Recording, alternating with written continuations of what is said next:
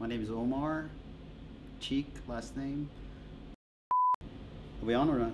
Oh, we're on. Allô? Oui, ça va? Tu de te réveiller? Je suis à l'université. The Han, ou un documentaire sur moi. sur ma vie. uh, I am 34 years old uh, from a country called Djibouti, which is located in east of Africa. Very small country. Population is around 800,000 people. And uh, I'm very proud to be actually from that country. So what happened to me is every day when I come in the Lexington station, there's usually I don't know what they call it, but there's a spot on the side where there's usually two cops and a table, and they pretty much start looking for stuff.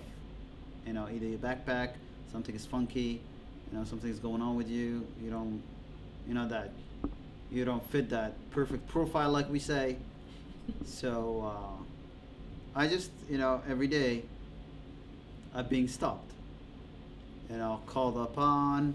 The guy goes like, so couldn't do anything about it. Just put my backpack in. He looks for it real quick, and then just he goes like, "You can go," and that happened every single day. You know, someone else would probably be upset with it, but me, what can you do? You know, so every morning is the same thing. I walk in, and I just, I literally just look at him. It's always the same thing so ended up being a daily thing. I try to I try sometimes to go with a very light backpack. I try sometimes to go with a empty backpack.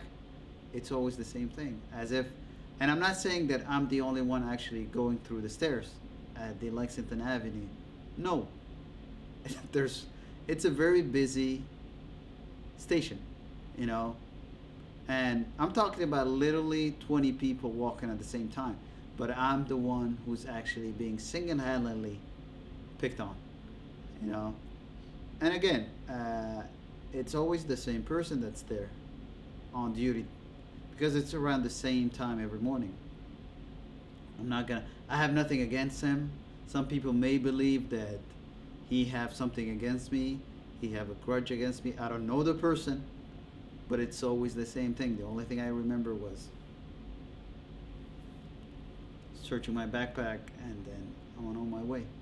You know, as to if I can sue him, I can report him. It only will do damage to me. He's a cop. So that's pretty much stuff like that shouldn't even upset you. You know, it's part of your daily life. I just wish that people would actually go to the other side you know, not judge us by the media, not to look us by the media, but actually go to the side, visit those people that you call them terrorists. Try to be in a Muslim shoe for a minute or two.